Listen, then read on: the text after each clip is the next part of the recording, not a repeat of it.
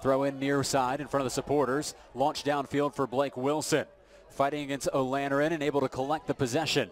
Angle to the right. Flips it inside to Galvao. Turns, fires, scores! What a goal by Martim Galvao. Takes the pass, turns with it in one touch, and then slots it to the bottom right corner to bring Nashville SC within one.